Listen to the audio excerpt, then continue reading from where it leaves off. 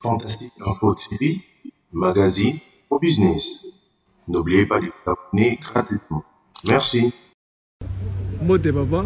Mbote ndeko. Euh, kombo nani papa? Kombo nanga Maître David. Maître David. Tomoni bino awa euh, na commune ya Nsele, kosima na quartier Kinkole. Okay. Na parmi ba groupe ba gens ba oza pembeni ya ma liziba ya hors sol elingi kolakisa nini boye kosala nini awa en tout cas toye ko se former mhm. déjà na kolobaka eza initiative moko allouer ntango namonaki yango sur internet en tout cas esalaki nga bien makasi parce que tomesana komona yango na bapays ya west afrique Alors, nous sommes venus aujourd'hui pour nous former dans Mambo Italie, pisciculture, topé koboro la mbisi en Orson. Vraiment, maintenant d'après Bino, aux allez moko ya bien lever ou bien et aux a moko ya bateau bazo comprendre au comment le bien lever. naza moko ya baye bakoyekola oyo baza prendre mpo nakoma éleveur ya bambisi parce que eza ekomi passion moko momataka ntina ngai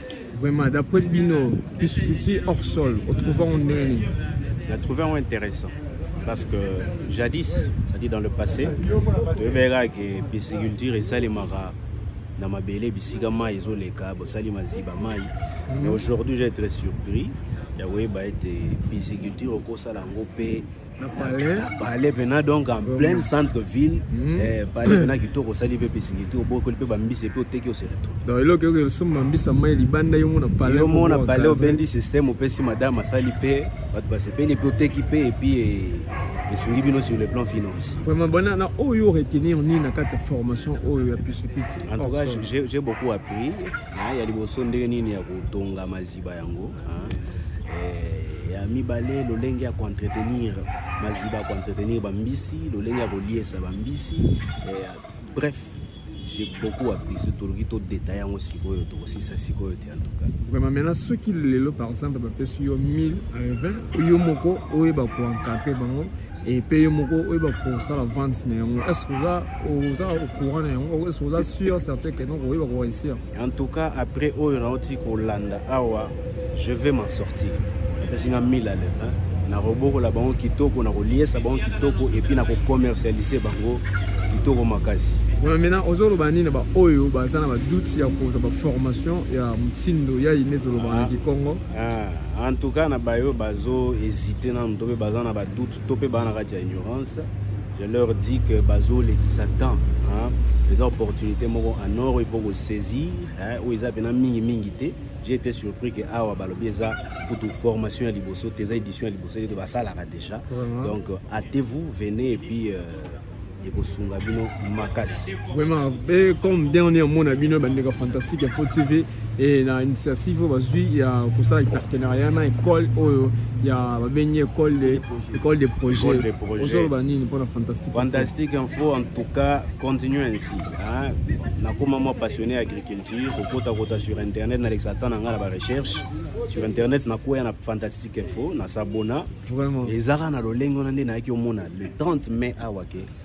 formation pisciculture ezalaki d'ailleurs j'ai été étonné et en tout cas bon continuer à lolenge wana toutes mes félicitations merci beaucoup merci à vous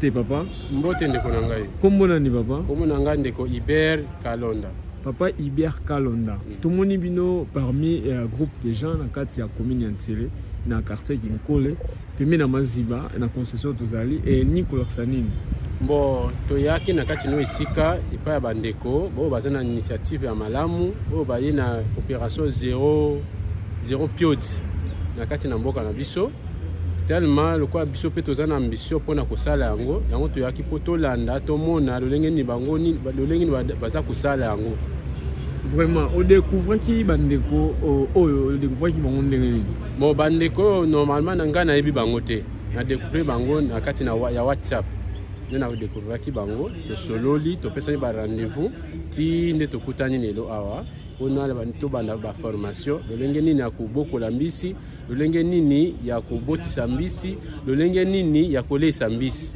vraiment koyeba lolenge nini ya koleisa mbisi mai natalisa biso bandeka fantastique ya fort ezali yo moko ozali eh, en tête ya projet wana be ozali na nsima moto nde atindi yo na kati na formation oyo nga moko naza tete ya projet oyo mhm. parce que ngai mpe nazali na baeta na ngai oyo ngai nasalaka mais naza komake euh, lolenge nini ya koproduire baalvin vraiment maintenant malembe papa na oyo oza nango betia na yo ezali ya, ya, ya sol ou bien ya hors sol ya ngai ezali ya, ya, ya, ya sol ya sol maintenant odécouvrir nini na oyo etali bongo hors sol bon hors sol esungi ngai makasi mpo na koyeba lolenge nini ya kotonga eta na kati ya lupangu to na kati ya ndako vraiment maintenant baoyo retenir na kati ya formation oyo ezali nini bon na retenir koyeba lolenge nini ya kosala d'abord Uh, kotonga etat na esika mai ezali te na lupangu tout comme na, na ferme esika mai eza te okoki kosala nakoki kosala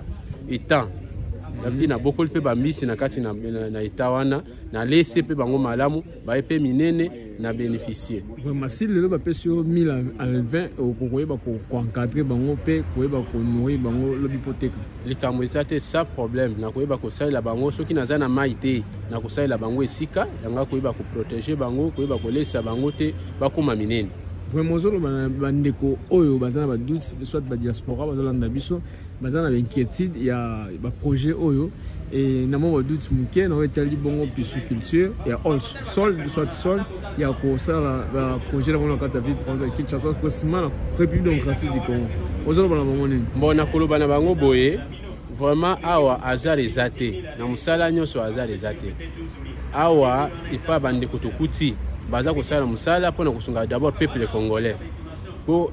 toleki makambo eleki ebele bakuluna bamasheti bapiaka bato baolelalela mingi mpo na kotinda bato na lolenge nini bakende basala bato mabe baleve bato na ndenge nini me bandeko bayeba initiative ya malamu mpo na koyeba lolenge nini yo mpe ozala moto lobi ntango koyeba osali mosala oyo bango bazosala yo mpe okoti na vision na bango okozala na kapasité ya konourire congo mobimba mpe kopesa mpe bandeko mosusu mposa ya bango kosala mosala oyo Vraiment, merci beaucoup. Sika de Nzamba Pambola. Merci beaucoup. Ne. Mbote papa. Eh, mbote pai. Eh, comment nani papa na biso? Comment nanga Otis. Papa Otis Along. Papa Otis Along. Along. Tomoni bino awa na kati ya groupe de gens ya oyo oh, ya ya basili kozala pembeni ya maziba kote ya bahors sol elingi kolakisa nini boye awa ah, mpona ntina na bino ezali na kati ya tanzania toya mpona ntina formation ntina formation mm. Vraiment oza mutu oyo obokolaka bango déjà ou bien oza première fois na yo? Nabokola ba soso, na la mabata, na la bangolo. Oza éleveur. Éleveur. Bien hôtel bongo pisciculture. Wana non na na yebite mais na ya ne pona na ba na yeba ndenge babokola. Vraiment koya na bino awa batindi bino ou bien yo moko olandaki bandeko ya direct na, na chaîne? Nalandaki direct na, na chaîne ya WhatsApp. Na chaîne ya WhatsApp. Na Fantastique Info TV. Si.